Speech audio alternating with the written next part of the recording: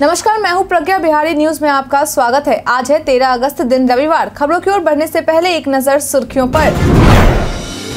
14 से सभी जिलों में शुरू होगा महिला सशक्तिकरण हब।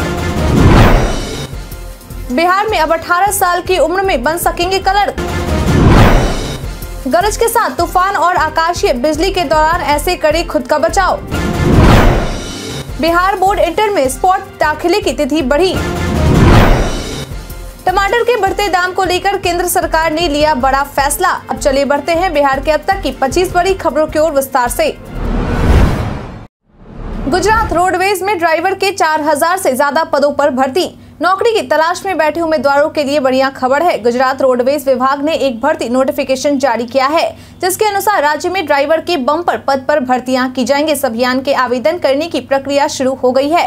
ऐसे में उम्मीदवार भर्ती अभियान के लिए 6 सितंबर तक निगम की आधिकारिक वेबसाइट जी पर जाकर आवेदन कर सकते हैं। इसके लिए अगर शैक्षणिक योग्यता की बात करें तो आवेदन करने के लिए उम्मीदवारों को किसी मान्यता प्राप्त बोर्ड से बारहवीं की परीक्षा पास होना अनिवार्य है। वहीं उनकी उम्र 25 साल से लेकर 34 साल के मध्य होनी चाहिए। हालाँकि आवेदन करने वाले आरक्षित श्रेणी के उम्मीदवारों को अधिकतम उम्र सीमा में छूट प्रदान की जाएगी। बता दें इस भर्ती के तहत कुल चार रिक्तियों को भरा जाएगा। मुख्यमंत्री अनुसूचित जाति एवं अनुसूचित जनजाति मेधावृत्ति योजना के तहत मिलती है इतनी राशि। अनुसूचित जाति एवं अनुसूचित जनजाति कल्याण विभाग के द्वारा मुख्यमंत्री अनुसूचित जाति एवं अनुसूचित जनजाति मेधावृत्ति योजना के तहत बिहार विद्यालय परीक्षा समिति से दसवीं, प्रथम या द्वितीय श्रेणी से उत्तीर्ण अनुसूचित जाति और अनुसूचित जनजाति के छात्र छात्राओं को निम्न राशि प्रोत्साहन स्वरूप दी जाती है। बता दें इस योजना के तहत सरकार की ओर से दसवीं में प्रथम श्रेणी से उत्तीर्ण होने वाले छात्र छात्राओं को प्रोत्साहन राशि के रूप में दस हज़ार रूपए दिए जाते हैं। तो वहीं द्वितीय श्रेणी से पास होने वाले छात्र छात्राओं को आठ हज़ार रूपए प्रोत्साहन राशि के रूप में बिहार सरकार की ओर से दिए जाते हैं। इस योजना से जुड़ी विस्तृत जानकारी के लिए website S T T P S colon slash slash Medha soft dot B I H dot N I C dot in पर विज़िट कर सकते हैं। बिहारी पहचान में आज हम बात करेंगे गोपाल सिंह नेपाली के बारे में। गोपाल सिंह नेपाली हिंदी साहित्य के एक भारतीय कवि और बॉलीवुड के गीतकार थे। वे छाया वादोत्तर काल के कवि थे और उन्होंने उमंग सहित हिंदी कविताओं के कई संग्रह लिखे। उनकी महत्वपूर्ण रचनाओं में उमंग, रागनी, पंछी, नीलिमा, हिमालय ने पुकारा आदि प्रसिद्ध काव्य संग्रहों के नाम उल्लेखनीय हैं। उन्होंने कल्पना नाम से नेपाली कविता का संग्रह भी लिखा। वह एक पत्रकार भी थे और उन्होंने कम से कम चार हिंदी पत्रिकाओं का संपादन किया, जिनके नाम थे रतलाम टाइम्स चित्रपट सुधा और योगी। वे अपने समकालीन महादेवी वर्मा सुमित्रा नंदन पंत, सूर्यकांत त्रिपाठी, रामधारी सिंह दिनकर आदि के साथ बहुत सम्मानित थे। उनके कार्यों को भारत के विभिन्न विश्वविद्यालयों के पाठ्यक्रम में शामिल किया गया है। उन्नीस सौ बासठ के भारत चीन युद्ध के दौरान उन्होंने कई देशभक्ति गीत और कविताएँ लिखी, जिनमें सावन भी शामिल है।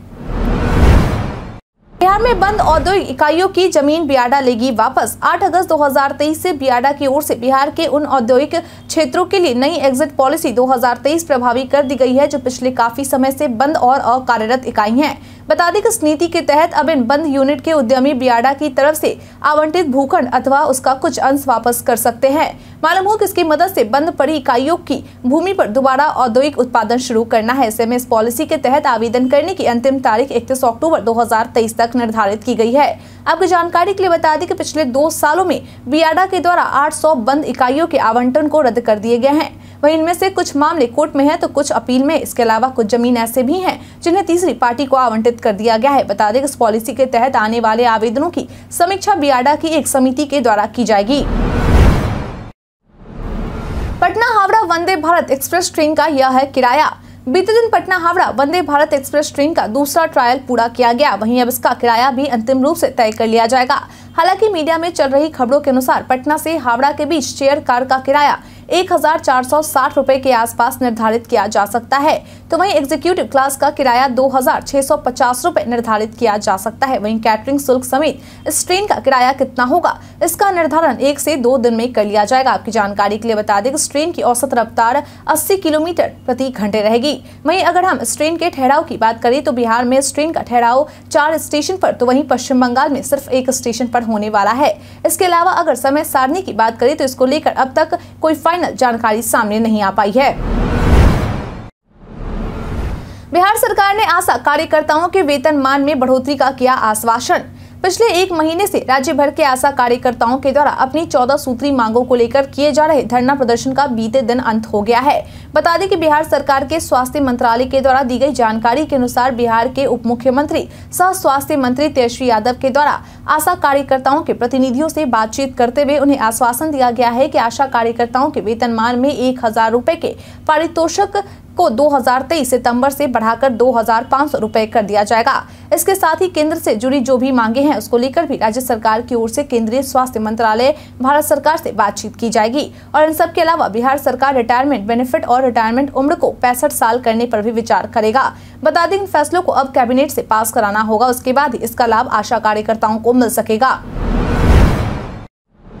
बिहार में अब 18 साल की उम्र में बन सकेंगे क्लर्क। नगर विकास एवं आवास विभाग के अपर मुख्य सचिव अरुणेश चावला के हस्ताक्षर के बाद नगर निकायों में होने वाले भर्ती के लिए संशोधित नियम को जारी कर दिया गया है, जिसके तहत अब न्यूनतम 18 वर्ष की आयु में भी निम्न वर्गीय लिपिक की बहाली की जा सकेगी, जबकि पहले यह न्यूनतम आयु सीमा इक्कीस वर्ष थी और इसके साथ ही अनुकंपा बहाली के लिए भर्ती आयोग की अनुशंसा की भी ज़रूरत नहीं पड़ेगी, क्योंकि इस पर विभाग के द्वारा खुद विचार किया जाएगा। मालूम हो कि नगर विकास एवं आवास विभाग के द्वारा संशोधित बिहार नगर पालिका लिपिकीय संवर्ग नियमावली 2023 में प्रावधान किया गया है। इसके अलावा अब मूल कोटि के पचासी प्रतिशत पद आयोग की अनुशंसा पर सीधी भर्ती और पंद्रह प्रतिशत पद सुपात्र कार्यालय परिचारियों से वरीयता सहयोगिता के आधार पर भरे जाने का निर्णय लिया गया है। चौदह से सभी जिलों में शुरू होगा महिला सशक्तिकरण हब।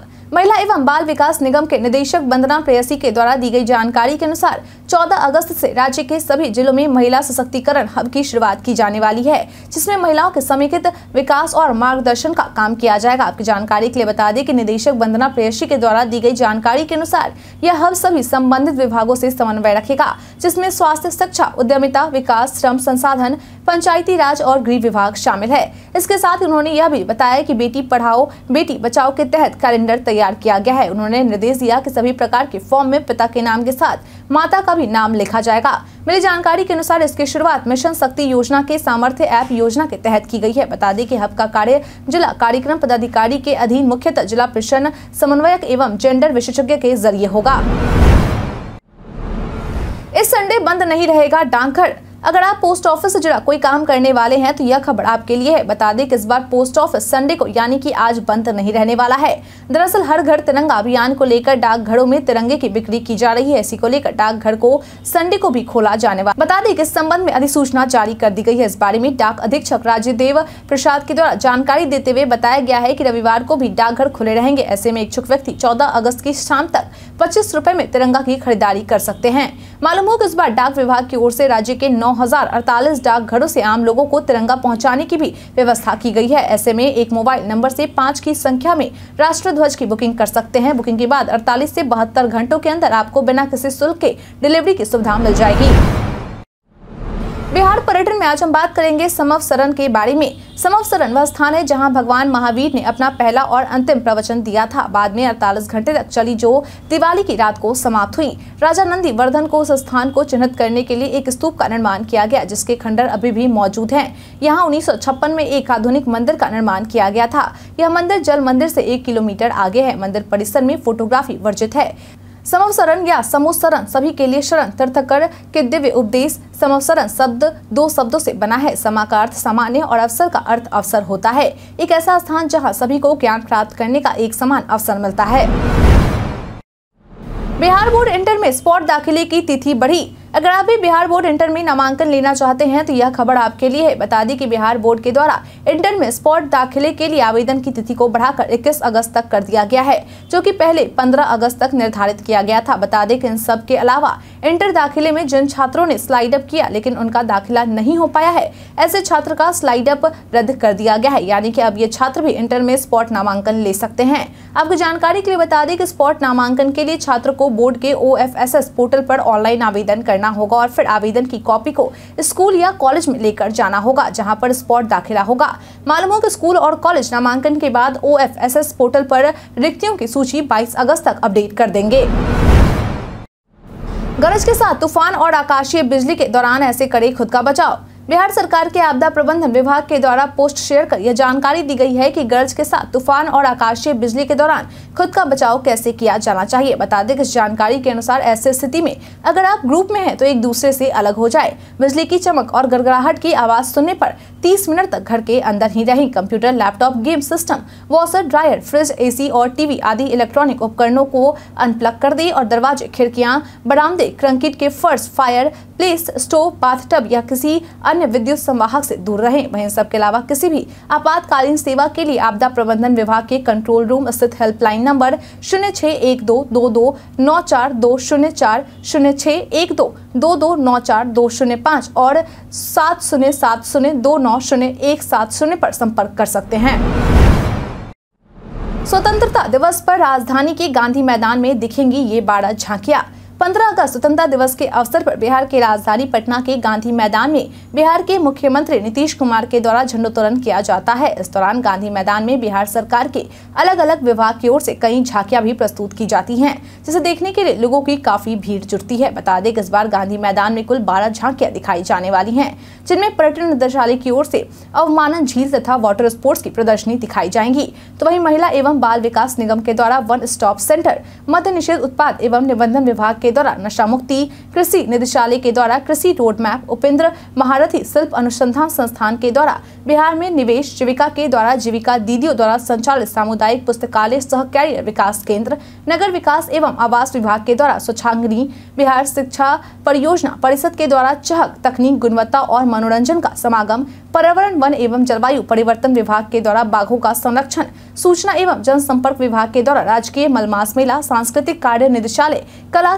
एवं युवा विभाग के द्वारा बिहार के शैलचित्र एवं शैलाश्रय और पशुपालन सूचना एवं प्रसार कार्यालय, पशु एवं मत्स्य संसाधन विभाग के द्वारा वन हेल्थ वन वर्ल्ड झांकी दिखाई जाएँगी। मालूम हो कि सभी झांकियाँ पंद्रह फुट से अधिक नहीं रहेगी।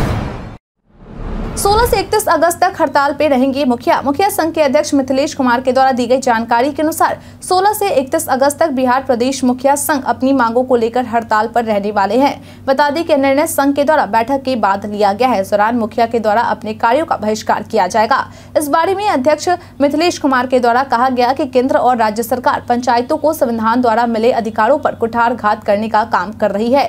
उन्होंने कहा की पंचायतों को न तो संविधान प्रदत्त अधिकारों के अनुसार काम करने दिया जा रहा और न ही पंचायत के जनप्रतिनिधियों की सुरक्षा की गारंटी दी जा रही। बिहार सरकार जनप्रतिनिधियों को हथियार का लाइसेंस भी नहीं दे रही है। बता दें कि संघ की ओर से सरकार के सामने यह मांग रखी गई है कि आपराधिक घटनाओं से मृत जनप्रतिनिधियों के आश्रितों को 50 लाख की अनुग्रह राशि दी जानी चाहिए। एक क्लिक से जाने किस जाति के लोग हैं अधिक या कम। जाति आधारित गणना के आंकड़ों के विश्लेषण किए जाने वाले सॉफ्टवेयर को कुछ इस तरह से डिज़ाइन किया गया है, जिससे कि आप एक क्लिक करके यह मालूम कर सकेंगे कि किस ज़िले में कौन जाति के लोग की संख्या अधिक है या कम। इसके साथ ही सॉफ्टवेयर से यह भी जानकारी पता की जा सकती है कि राज्य के बाहर जाने वालों में से किस जाति के लोगों की संख्या सबसे अधिक है। बता दें कि बिहार में किए गए जातीय गणना के आंकड़ों को फ़िलहाल सर्वर में अपलोड किए जाने का काम किया जा रहा है। हालाँकि अब तक यह तारीख तय नहीं की गई है कि इन आंकड़ों के विश्लेषण का काम कब से आरंभ होगा। मालूम जाति आधारित गणना से जुड़ी रिपोर्ट पूरे राज्य के लिए समेकित रूप से बनेगी और साथ ही जिलों के लिए भी अलग से रिपोर्ट बनेगी। टमाटर के बढ़ते दाम को लेकर केंद्र सरकार ने लिया बड़ा फैसला। पिछले कई दिनों से टमाटर के बढ़ते दाम से आम लोगों को काफ़ी परेशानी का सामना करना पड़ रहा है। कई लोगों ने तो टमाटर का इस्तेमाल करना तक छोड़ दिया है, जिससे कि उनका जायका बिगड़ गया है। हालाँकि अब केंद्र सरकार की ओर से टमाटर के बढ़ते दाम को देखते हुए एक बड़ा फैसला लिया गया है। बता दें, केंद्रीय वित्त मंत्री निर्मला सीतारमन के द्वारा जानकारी देते हुए बताया गया की अब भारत नेपाल से टमाटर का आयात करेगा और इसकी पहली खेप बहुत जल्द ही भारत पहुँचने वाली है। मालूम हो की मीडिया में चल रही खबरों के मुताबिक नेपाल से आने वाली टमाटर की पहली खेप वाराणसी, लखनऊ और कानपुर शहरों में पहुँचने की आशंका है। वहीं इसके अलावा आरबीआई गवर्नर शक्तिकांत दास के द्वारा यह कहा गया है कि बहुत जल्द सब्जियों की कीमत में सुधार देखने को मिल सकती है।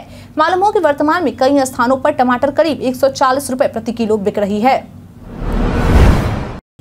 बिहार के कुछ जिलों में बारिश के आसार। बिहार में पिछले कुछ दिनों से हो रही बारिश से लोगों को काफ़ी राहत मिली है। खास तौर पर किसानों को सबसे ज़्यादा खुशी हुई है। ऐसे में अगर हम आज के मौसम की बात करें तो आईएमडी बिहार के द्वारा मौसम को लेकर जारी किए गए पूर्वानुमान के अनुसार राज्य के कुछ जिलों में, जिनमें सीतामढ़ी, मधुबनी, सुपौल, अररिया, पूर्णिया, कटिहार और किशनगंज जिलों के एक या दो स्थानों में भारी बारिश की संभावना है।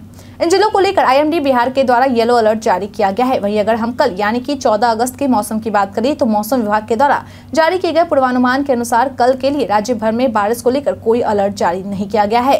बता दें कि इस तरह की स्थिति राज्य में सोलह अगस्त तक बनी हुई है, यानी की सोलह अगस्त तक मौसम विभाग की ओर से राज्य में बारिश को लेकर कोई चेतावनी जारी नहीं की गई है। सिमुलतल्ला आवासीय विद्यालय में नामांकन के आवेदन की तिथि बढ़ी। अगर आप भी उन छात्रों में से हैं जो सिमुलतल्ला आवासीय विद्यालय में पढ़ने की इच्छा रखते हैं तो यह खबर आपके लिए मददगार साबित हो सकता है। बता दें कि सिमुलतल्ला आवासीय विद्यालय जमुई में छठी कक्षा में सत्र 2024-25 में दाखिले के लिए ऑनलाइन आवेदन की तिथि को बढ़ा दिया गया है। मालूम हो कि अब इच्छुक छात्र 18 अगस्त 2023 तक ऑनलाइन परीक्षा फॉर्म भर सकते हैं और परीक्षा शुल्क जमा कर सकते हैं। आपकी जानकारी के लिए बता दें कि आवेदन करने के लिए छात्र S T P colon slash slash secondary dot Bihar board online dot com website पर जाकर आवेदन कर सकते हैं। मालूम हो कि इस बात की जानकारी बिहार बोर्ड के द्वारा ट्वीट कर दी गई है। स्वतंत्रता दिवस पर पीएम मोदी से मिलेंगे सिवान के मनोज। 15 अगस्त को स्वतंत्रता दिवस के अवसर पर देश की राजधानी दिल्ली में प्रधानमंत्री मत्स्य संपदा योजना से संबंधित परिचर्चा का आयोजन किया जा रहा है, जिसमें सिवान के मोहम्मद दपूर गाँव निवासी मत्स्य कृषक मनोज सहनी भी शामिल होने वाले हैं, जहाँ वे प्रधानमंत्री मोदी से परिचर्चा के दौरान मत्स्य पालन की जानकारी साझा करेंगे। आपकी जानकारी के लिए बता दें कि मनोज सहनी को नौकरी न मिलने पर बहियाड़ा चंबर मोहम्मदपुर चंबर अरुआ चंबर में बेकार पड़े करीब पैंसठ बीघा लीज पर ज़मीन लेकर पच्चीस तालाब खुदवाई और मत्स्य मत्स्य पालन का काम शुरू कर दिया। इस काम में उन्होंने अपने साथ कुछ बेरोजगार युवक को जोड़ा और फिर कई प्रकार की मछलियों को पालने का काम शुरू किया। और आज वे कई लोगों को रोज़गार देने का काम कर रहे हैं। अपने इसी मिसाल को लेकर वे इस कार्यक्रम में शामिल होने वाले हैं। हरी सब्जियों की आड़ में शराब तस्करी का हुआ खुलासा। बिहार में पूर्ण रूप से शराबबंदी है, लेकिन इसके बावजूद भी आए दिन हमें शराब तस्करी से जुड़े मामले सुनने को मिलते रहते हैं। एक तरफ़ जहाँ शराब तस्कर के द्वारा शराब तस्करी के नए नए तरीकों का निजात किया जाता है तो वहीं दूसरी ओर उत्पाद विभाग की ओर से भी इन शराब तस्करों को पकड़ने की जीतोड़ कोशिश की जा रही है। बता दें कि ताज़ा मामला बिहार के छपरा के मांझी चेक पोस्ट का है, जहाँ पुलिस के द्वारा वाहन चेकिंग के दौरान उत्तर प्रदेश के बलिया से आ रही भिंडी के बोरी से हैंड हेल्ड स्कैनर के माध्यम से आठ कार्टन विदेशी शराब की खेप बरामद की गई है। इसके साथ ही पुलिस के द्वारा एक तस्कर की भी गिरफ्तारी की गई है, जिसकी पहचान दिगवारा थाना क्षेत्र के मानपुर गाँव निवासी के रूप में की गई। फ़िलहाल तस्कर को हिरासत में लेते हुए जेल भेजने की प्रक्रिया की जा रही है। बता दें इस बात की जानकारी उत्पाद अधीक्षक रजनीश के द्वारा दी गई है। इसरो में साइंटिस्ट बना बक्सर का लाल। एक बार फिर से बिहार के एक युवा ने बिहार का नाम रोशन कर दिया है। दरअसल बिहार के बक्सर के ब्रह्मपुर निवासी आशीष भूषण सिंह की नियुक्ति हाल ही में इसरो में क्लास वन पदाधिकारी यानी कि वैज्ञानिक के तौर पर की गई है। उनके इस उपलब्धि पर उनके आसपास के लोगों में काफ़ी खुशी का माहौल बना हुआ है। आपकी जानकारी के लिए बता दें कि आशीष भूषण सिंह की नियुक्ति इसरो के मुख्य केंद्र एलपीसीसी तिरुअनंतपुरम, केरल में क्लास वन अधिकारी वैज्ञानिक के रूप में हुई है। आशीष भूषण सिंह ने अपनी सफलता पर कहा कि शुरू से हमारी इच्छा देश की सेवा करने की थी। उन्होंने कहा कि मुझे लगता था कि देश की सेवा करने का मौका लेने का सबसे आसान तरीका पढ़ाई करना है। जीवन में सही लक्ष्य निर्धारित कर उसके प्रति मेहनत की जाए तो सफलता आपके कदम ज़रूर चूमेगी। रोहित शर्मा कर रहे एशिया कप 2023 के लिए खास तैयारी। वीडियो हुआ वायरल। एशिया कप 2023 की शुरुआत 30 अगस्त से होने वाली है। ऐसे में भारतीय टीम के कप्तान रोहित शर्मा इसको लेकर खास तैयारी में जुटे हुए हैं। जिसका सोशल मीडिया पर वीडियो काफ़ी वायरल हो रहा है। बता दें कि रोहित शर्मा का यह वीडियो खूब धूम मचा रहा है। दरअसल इस वीडियो में रोहित शर्मा जमकर जिम में पसीना बहाते नज़र आ रहे हैं। वीडियो में हिटमैन हैवी वेट के साथ पैरों की कसरत पर ज़्यादा फोकस करते हुए नज़र आ रहे हैं। इसके साथ ही भारतीय कप्तान को कार्डियो एक्सरसाइज भी करते हुए दिखाई दिया जा रहा है। सोशल मीडिया पर रोहित का यह वीडियो काफ़ी तेज़ी से वायरल हो रहा। दरअसल रोहित जिम में काफ़ी कम बार ही पसीना बहाते हुए नज़र आते हैं और यही वजह है कि फैंस इस वीडियो पर तरह तरह के रिएक्शन दे रहे हैं। भारत के इतिहास में आज की तारीख है कई कारणों से दर्ज। भारत में प्रशासनिक सुधारों के लिए पिट्स इंडिया विधेयक ब्रिटिश संसद में सत्रह सौ चौरासी को पेश हुआ। भारत में निर्मित पहले विमान हिंदुस्तान ट्रेनर दो ने पहली उड़ान उन्नीस सौ इक्यावन में भरी। राष्ट्रीय राजमार्ग लोकसभा में 1956 को विधेयक पारित हुआ। भारत ने 2008 में multi barrel rocket launcher weapon system Pinaka का सफल परीक्षण किया। प्रसिद्ध अर्थशास्त्री व रिज़र्व बैंक के पूर्व गवर्नर चक्रवर्ती संगराजन का 2008 में राज्यसभा के लिए नामित किया गया। भारत के प्रसिद्ध क्रांतिकारी नरेंद्र मोहन सेन का जन्म अठारह सौ सतासी को हुआ था। प्रसिद्ध राजनीतिज्ञ गंगा प्रसाद वर्मा का जन्म अठारह को हुआ था। अंग्रेज़ी और बंगला भाषा के प्रसिद्ध लेखक तथा महान शिक्षा शास्त्री रमेश चंद्र दत्त का जन्म अठारह सौ अड़तालीस को हुआ था। भारतीय सिनेमा की प्रसिद्ध अभिनेत्री वैजंती माला का जन्म 13 अगस्त 1936 को हुआ था। हिंदी सिनेमा जगत की जानी मानी अभिनेत्रियों में से एक है। योगिता बाली का जन्म उन्नीस सौ बावन को हुआ था। भारतीय अभिनेता निर्माता सुनील शेट्टी का जन्म उन्नीस सौ इकसठ को हुआ था। भारतीय अभिनेत्री श्रीदेवी का जन्म उन्नीस को हुआ था। भारत की वीरांगना अहिल्या बाई होलकर का निधन सत्रह सौ पंचानवे को हुआ था। प्रसिद्ध भारतीय महिला क्रांतिकारी भीकाजी कामा का निधन उन्नीस सौ छत्तीस को हुआ था। आज के दिन को अंगदान दिवस के रूप में भी मनाया जाता है। कार्यक्रम में आज हम बात करेंगे 500 के नोट और आधार कार्ड के बारे में। सोशल मीडिया पर कई सूचनाएँ वायरल होती है, लेकिन सभी सच हो ये ज़रूरी नहीं है। इसी कड़ी में आज हम बात करेंगे 500 के नोट और आधार कार्ड के बारे में। दरअसल पीआईबी ने अपने ट्वीट में लिखा है कि दावा किया जा रहा है कि पूरे भारत में चार अन्य चीज़ों के साथ 500 के नोट और आधार कार्ड भी बैन हो जाएँगे। पीआईबी ने अपने ट्वीट में आगे लिखा है कि दावा फर्जी है, इसलिए कृपया ऐसे वीडियो किसी के साथ साझा करने से बचें और वास्तविक या सटीक वीडियो ही साझा करें। इंस्टाग्राम में अब आप एक से ज़्यादा ग्रिड पोस्ट में ऐड कर पाएँगे म्यूज़िक। मेटा ने इंस्टाग्राम यूज़र्स के लिए एक नया फीचर रोल आउट किया है, जो उन्होंने एक से ज़्यादा ग्रीड पोस्ट में म्यूज़िक लगाने की अनुमति देता है। यानी आप एक से ज़्यादा फ़ोटो या वीडियो पोस्ट करते हुए इनमें म्यूज़िक ऐड कर सकते हैं। अभी तक केवल शुरुआत की एक फ़ोटो में म्यूज़िक ऐड करने का ऑप्शन होता था, बाकी फ़ोटोज़ बिना ऑडियो के दिखती थी। लेकिन अब आप सभी में म्यूज़िक ऐड कर सकते हैं। द वर्ज की रिपोर्ट के अनुसार ये फीचर शुक्रवार को अमेरिकी गायक, गीतकार ओलिविया रोड्रिगो द्वारा पेश किया गया था। उन्होंने इसका इस्तेमाल अपने नए गीत बैड आइडिया राइट को जारी करने के लिए किया था। ध्यान दें, आप केवल एक ही गाना पूरे पोस्ट में ऐड कर सकते हैं, यानी सभी फ़ोटोज़ में गाना एक ही रहेगा।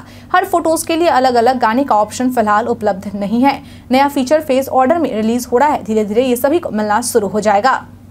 हम प्रतिदिन आपसे पाँच ऐसे ज़रूरी सवाल और उससे जुड़े जवाब बताएँगे, जो कि बीपीएससी बिहार पुलिस, दरोगा समेत एसएससी जैसे अन्य प्रतियोगी परीक्षाओं में काम आएँगे। सवाल, इतिहास, बिहार स्पेशल, विज्ञान, करंट अफेयर्स और भूगोल से रहेंगे। पूछे गए पाँचों सवाल में आपने कितना सही उत्तर दिया कृपा करके यह हमें कमेंट करके ज़रूर दें। हमारा पहला सवाल है, हाल ही में जारी डब्ल्यू की डब्ल्यू 2023 रिपोर्ट के अनुसार भारत व्यापारिक निर्यात की सूची में किस स्थान पर है? ऑप्शन ए सोलवे ऑप्शन बी, सत्रहवे, ऑप्शन सी, अठारहवे, ऑप्शन डी, उन्नीसवे।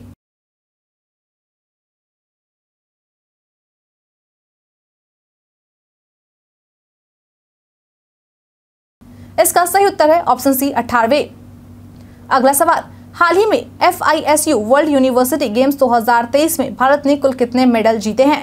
ऑप्शन ए छब्बीस मेडल, ऑप्शन बी बीस मेडल, ऑप्शन सी छत्तीस मेडल, ऑप्शन डी एक भी नहीं।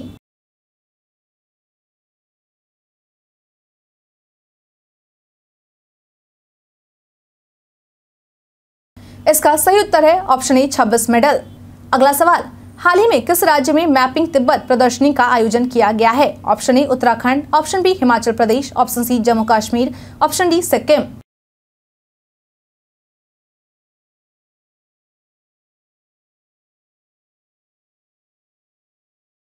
इसका सही उत्तर है ऑप्शन बी, हिमाचल प्रदेश। अगला सवाल, बिहार स्थापना दिवस कब मनाया जाता है? ऑप्शन ए 22 फरवरी। ऑप्शन बी 22 मार्च। ऑप्शन सी 22 अप्रैल। ऑप्शन डी 22 मई।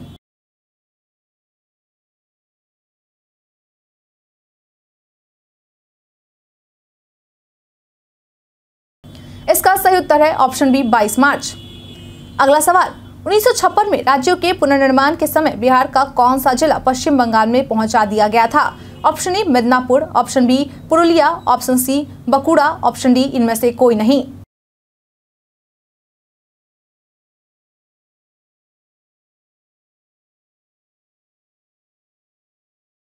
इसका सही उत्तर है ऑप्शन बी पुरुलिया। बीते दिन हमारे द्वारा पूछे गए सवाल का आप लोगों में से बहुत लोगों ने जवाब हमें हमारे कमेंट सेक्शन बॉक्स में लिख कर दिया था, जिन्होंने हमारे द्वारा पूछे गए सवाल का जवाब दिया है। उनके नाम है अभिषेक राज, अनवर करीम खान, अनिल कुमार, सुदुल्ला पलवी मोटू रंगीला, अमित कुमार, फातिमा खातून, विजय घायल, राजकिशोर महतो, योगेंद्र शाह, जितेंद्र ठाकुर, गिरिजेश निराला, अतीक खान, मोहम्मद सकीर हुसैन, मनीष कुमार बर्मन। इसके साथ ही बढ़ते हैं आज के सवाल की ओर। आज का सवाल है आपने कभी पटना गांधी मैदान या फिर लाल किला दिल्ली में 15 अगस्त को झंडोत्तोलन और प्रदर्शित की जाने वाली झांकियों को कभी नज़दीक से देखा है या नहीं? अगर देखा है तो अपना अनुभव साझा करें। अपना जवाब हमें हमारे कमेंट सेक्शन में लिखकर ज़रूर बताएँ। आज के लिए इतना ही। बिहार के तमाम खबरों के साथ बने रहने के लिए देखते रहे बिहारी न्यूज़। और साथ ही अगर आप यूट्यूब से देखें, चैनल को सब्सक्राइब करना और अगर आप फेसबुक से देखें तो पेज को फॉलो करना ना भूलें। धन्यवाद।